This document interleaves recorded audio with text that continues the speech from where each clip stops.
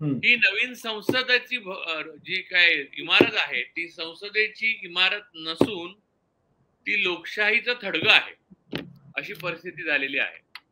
त्यात आज जे बजरंग पुनियानी पंतप्रधानांच्या घराबाहेर आपली पद्मश्री ठेवली आणि नमस्कार करून निघून गेले ही घटना मला वाटतं प्रतिकात्मक आहे. काल साक्षी मलिकने बूट ठेवले आणि निघून गेली.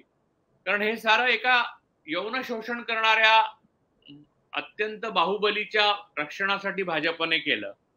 हे हो. सर्व देश बघतो आहे. आणि अशा वेळेला इतर खेळाडू म्हणजे क्रिकेटर फिल्म स्टार्स जे आपले आयडॉल आहेत असं आपण मानतो ते पुढे येत नाहीत आणि बोलत नाहीत सुप्रीम कोर्ट कोणत्याही प्रकारे सरकार विरोधात जायला तयार नाही. किंबहुना तीनशे सत्तर अबॉर्गेशन तीनशे सत्तरबद्दल दिलेला निकाल आहे. नरिमन यांनीच अनेक दोन गोष्टी बोललेत. की सीईसी संदर्भात आणि काश्मीरच्या निकाला संदर्भात. तर ते नरिमन यांचं म्हणणं त्यांच्या एवढे मोठे कायदेतज्ञ भारतात क्वचित कोणी असतील तर त्यांनी स्वतःच सांगितलं की हे तर भयानकच आहे. म्हणजे हे म्हणजे जवळपास लोकशाही संपली आहे. पण लोकशाही संपली आहे तर लोकांचा धाक असायला पाहिजे. कारण मतदानाला सामोरं जावं लागतं म्हणून.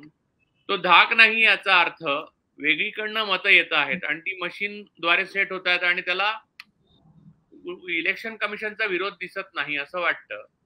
तुम्हाला आठवत असेल की पेगासस आपल्याकडे इस्रायल मधनं आलेलं त्या इस्रायल झिम्बावेची अख्खी इलेक्शन रिक केल्याचा आरोप होता. हो. आणि they are capable of doing that because technology technology is very much with them so आता बघा इलॉन मास्क असो किंवा सुंदर पिचाई असो मार्क झुकरबर्ग असो यांची जी सोशल मीडिया प्लॅटफॉर्म्स आहेत ते सुद्धा सरकार समोर मार्केट भारताचं मिळावं म्हणून कंप्लीट नमतं घेऊन आहे. तुम्ही जर भाजपच्या विरुद्ध किंवा प्रधानमंत्र्यांच्या बद्दल कोणती पोस्ट टाकली किंवा कशाही बद्दल त्यांच्या धोरणाविषयी तर लगेच तुमचा रीच फेसबुकवरचा कमी होऊन नाहीसाच होतो जवळपास. हो. युट्यूबला पण रिस्ट्रिक्ट करण्यात येतं. ते प्रियांका गांधी आणि राहुल गांधींना पण मध्ये रिस्ट्रिक्ट केलं बाकी तर गोष्ट सोडून इवन तुम्ही एक्स वर बघितलं म्हणजे पूर्वीचा ट्विटर तर त्याच्यावर तुमचे फॉलोअर्स वाढण्याचं प्रमाण एकदम स्लो होऊन जातं जर तुम्ही सरकारी पक्षाच्या बाजूने नसाल तर. सगळ्या घटना अत्यंत चिंताजनक आहेत. एवढंच नव्हे तर मी एवढं म्हणेन की आणीबाणीपेक्षाही भयानक आहेत.